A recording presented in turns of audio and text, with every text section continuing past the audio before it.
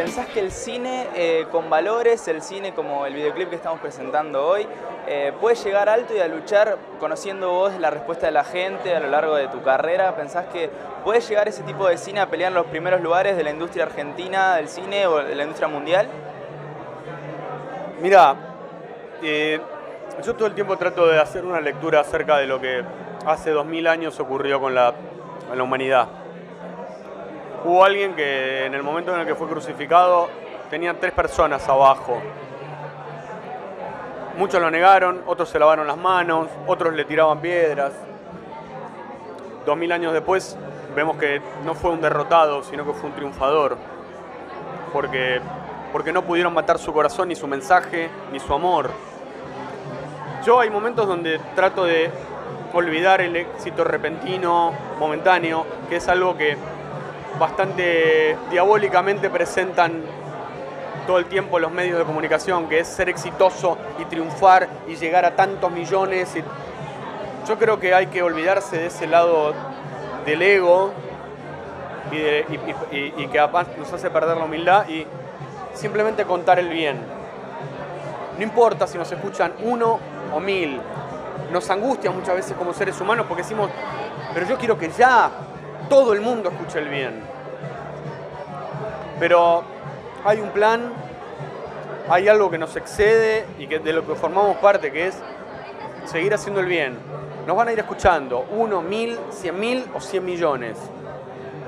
Ciertos medios de comunicación, digo algo que dije antes, yo ya sé que no quieren eso, porque están manejados por personas que van por el otro lado, que es por un lugar de facturación, de mensaje bastante ambiguo y contradictorio y hasta oscuro.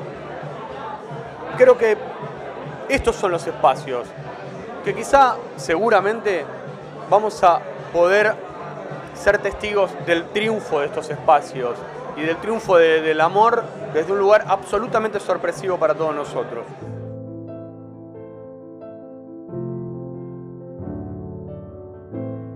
Preguntarte también qué pensás acerca de las nuevas plataformas de, medios de comunicación como son YouTube, Internet. ¿Crees que desde ese lado se puede crecer y es el futuro de las comunicaciones?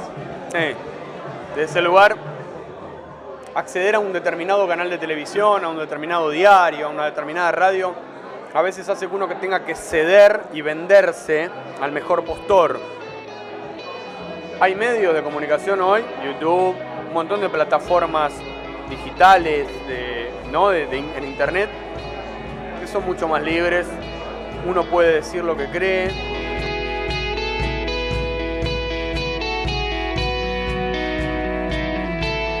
Entonces, olvidarnos de ciertos medios y empezar a aprovechar estos medios que nos permiten llegar a un montón de gente en China, Japón, Tucumán o Ushuaia.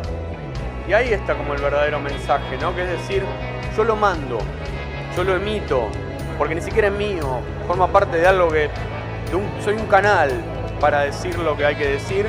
Y después si me ven mil, genial. Y si me ven cien mil, mejor. Pero ya no depende de mí. Yo lo hago, yo lo, yo lo canalizo. Que Dios hable a través mío. Para cerrar, preguntarte si te vamos a ver en la tele pronto, si hay algo por lo que decidiste alejarte en este tiempo y si, bueno, vamos a verte en el cine o en la tele. No, en, la tele no creo por ahora. Bueno, acá, no en estos espacios, pero no, hay lugares donde yo ya no voy, porque siento que la mentira está como gobernando ese lugar y, y hay que ir a lugares donde la verdad está más, más más necesitada además, o, donde se valoriza más la verdad.